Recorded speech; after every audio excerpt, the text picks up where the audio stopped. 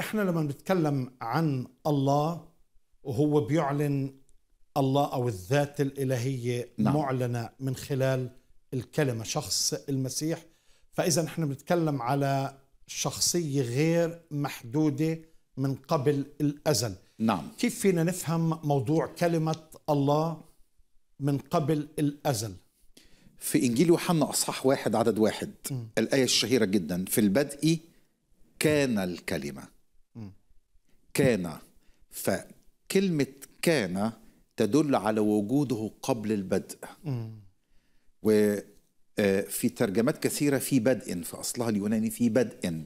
يعني نستطيع أن نرجع بأذهاننا إلى أي بدء نفترضه. هنلاقي مش في البدء بدأ الكلمة لا في البدء كان أي أنه موجود قبل البدء. أقول مثال للمشاهدين. أنا جيت الأستوديو أنت كنت موجود فأنت موجود قبلي. نفس الفكرة البدء أي بدء بدأ الكلمة قبل البدء فهو أزلي. وهو موجود كالكلمة أي المعلن عن الله.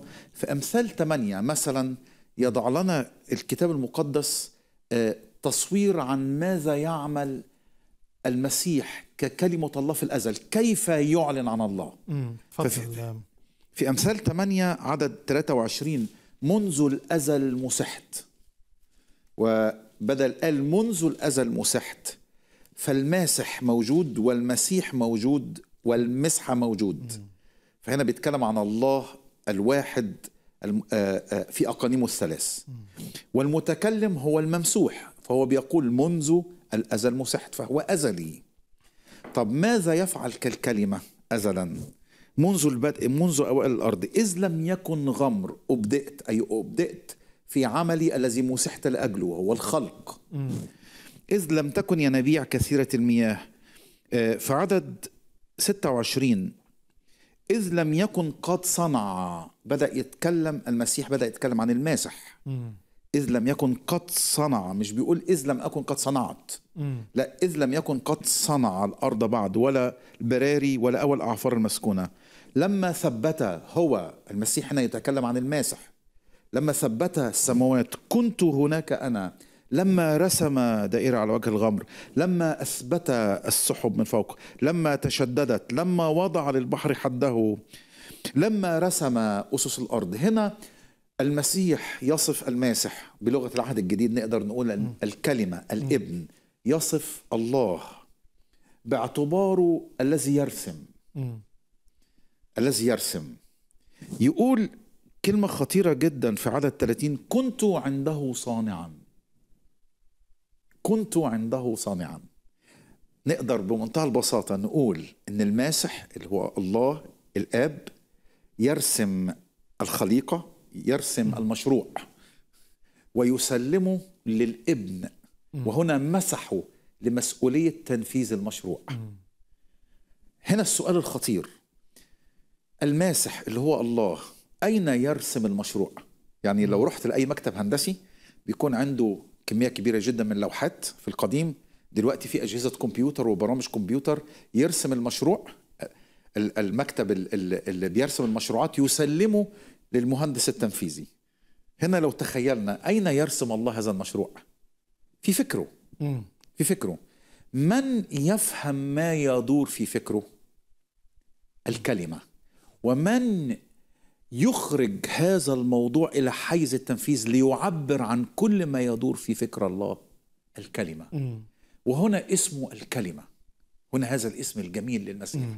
كلمة الله المعلن عن الله. فالله في داخله مشروع الخليقة.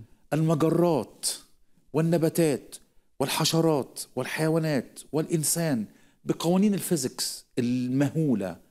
بدوران الأفلاك بطريقة منظمة بديعة. كل هذا المشروع المهول الذي يدور في فكر الله من يعرفه ليعبر عنه؟ واحد فقط الكلمة. في نفس الإصحاح في آية 23 منذ الأزل مسحت. مسحت. وهنا الكلمة أزلي. وهو الممسوح أي المعين لتنفيذ المشروع. وهنا الماسح أزلي. وهنا الروح القدس المسحة أزلي.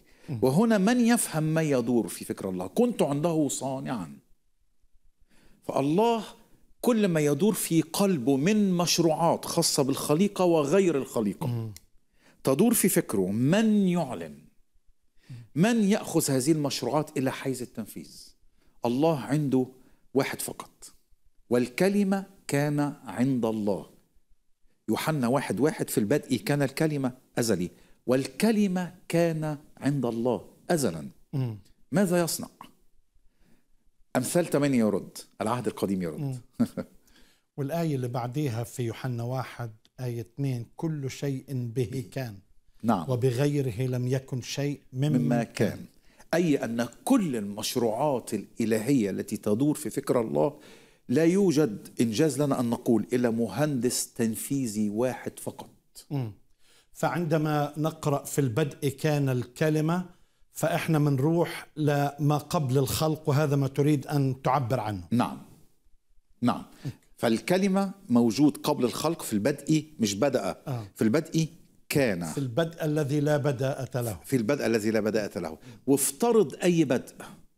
عشان كده في اليونانية في مجهولة في بدء.